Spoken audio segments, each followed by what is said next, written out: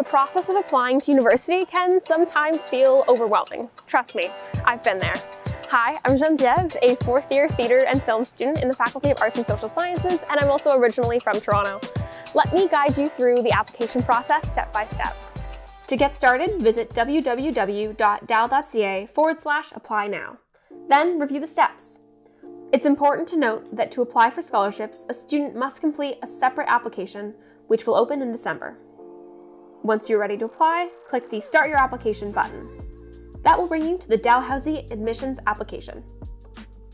Please take a moment to read through the information on this page as you'll find here directions for how to apply and where to send your supporting documents as you are not able to upload your documents through the application itself. If you scroll down to the bottom of the page, you'll see that you are able to input your login ID and PIN. If you have already submitted your application for admission, this is where you will enter your login information to check on the status of your application. If you are applying for the first time, you will need to click on the link below the login button called First Time User Account Creation, this is how you will generate login credentials to come back to your application later. This is where you will create your login and PIN. The PIN requirements are listed at the top of the page. Please take a moment after completing this section to write down your login credentials in an accessible place like your phone, as you'll need this information to check on the application status later. If you happen to lose or forget the information, you can always reach out to the advisor for your area for help. You can find that person's contact information by visiting www.dal.ca forward slash connect. Once you have created and submitted your login credentials, you will be brought to the first page of the application and you will be asked to select your application type. There is a lot of information here, but please don't feel overwhelmed. As I mentioned before, if you need assistance, you can reach out to your advisor for help. As you can see, there are three columns of information here for you to review. The first is the application type, which is what you will select from the drop-down menu list at the bottom of the page. The second is a description of which applications are contained within each application type. And the third lets you know what term you can apply for. For example, our health programs only take in new students in September of each year. The application you will need to select is determined by the faculty that your program belongs to. For example, the Bachelor of Commerce belongs to the Faculty of Management, so you will select the DAL undergrad general application type. If you're not sure what faculty your program belongs to, you can visit our viewbook at www.dal.ca forward slash viewbook. We break down which programs belong to each faculty on pages 10 and 11. Please look through each application type carefully to find the program you are interested in being considered for. While some of our programs admit directly to the major area of study you will focus on in your degree, like the Bachelor of Science Nursing, some of our programs require you to apply to the program first and declare your major or discipline later on in your degree. If you don't see the specific major you want to apply for listed on the application, just select the program it belongs to. You can find a list of all the available majors for each program in the viewbook, also on pages 10 and 11. One last note before I move on, Dalhousie offers several science-based programs across a range of subject areas. So it's important to carefully read through the application type description because many of our degrees are called a Bachelor of Science, but they belong to a different faculty and so have a different application type. For example, the Bachelor of Science Nursing has its own application type, and the Bachelor of Science Kinesiology belongs to the Dal Undergrad Health application type because the program is offered by our Faculty of Health. Pages 10 and 11 of the viewbook can be an excellent guide here. For this example, I'm going to select our Bachelor of Science Medical Sciences application. I know from re reviewing the viewbook that this program belongs to the Faculty of Science, so I'm going to select the DAL Undergrad General Application type from the drop-down list at the bottom of the page and click Continue. Next, you will select the term you would like to begin your studies in. There are a few options, so make sure you are selecting the right term. You will need to enter your legal name here. If you prefer to be referred to by a different name, there is a section in the application where you can record that. Now click Submit and move on to the next page. That will bring you to the application checklist. Please take a moment to read through the declaration on this page as it is important to understand your responsibilities around submitting an application for admission. Now I'm going to walk you through each application checklist item. First up is the name section. Some of this information will carry through from earlier in the application, but you have the option to record a preferred name here, which is what we'll use to refer to you in our informal correspondence, and what your professors will eventually see on their class lists. If you click Continue, that will take you to the next item on the checklist, your address and phone number section. Here, we ask that you enter your address and phone number. You should fill in the address where you would like to receive mail from Dalhousie. If you're applying from outside of Canada and the United States, we know that your address may not follow the formatting you see on the page exactly. Please fill in the fields that most closely match your address information so that it accurately reflects your mailing address. If you are applying for admission outside of North America, please record your country and area codes in the first phone number box, followed by your phone number in the second box, and your extension, if you have one, in the third. Once you've finished entering this information, please click Continue to move on to the next section of the application. In this section, we will need to know your permanent residency. Please take a moment to read the definition of a resident at the top of the page, then indicate your city, state, or country of residence according to the directions in the page, as some of our programs consider residency in determining eligibility for admission. That brings us to the personal information section of the application. Some fields, like your citizenship, email, and birth date, are mandatory. Others are voluntary. If you identify as belonging to any of the groups included below, you have the option to indicate that with or without consent on your application. If you voluntarily self-identify with consent, the university may forward you information about opportunities to connect with resources and support services tailored to specific communities. These may include information about scholarships or equitable admissions policies. If you voluntarily identify without consent, any information you provide is anonymized and is only used to assist the university in assessing and improving services for students who identify as belonging to one of the groups below.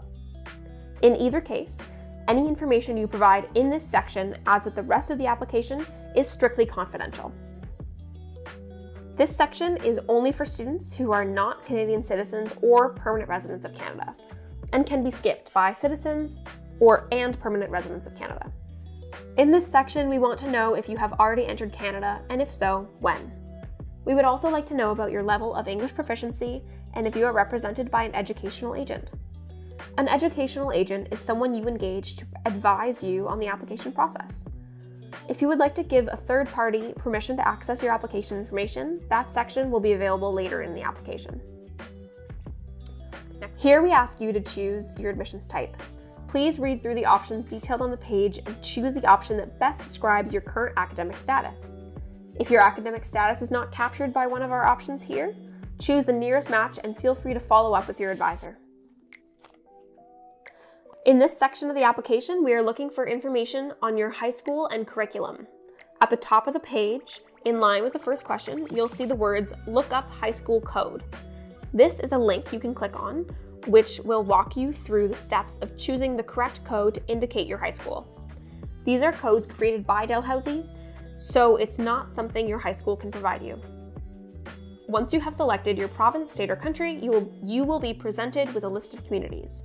Select your community, and if we have previously received an application from someone who also attended your high school, you will see the correct code listed there. If we have not created a code for your high school yet, You'll be able to see a message that says no high schools found in the selected city, return to high school data entry form. Clicking on the link provided in that message will make the high school code field not mandatory and let you fill out the rest of the form manually. If you do find your high school listed, you can select it from the list and it will auto-populate some of the details required on this page.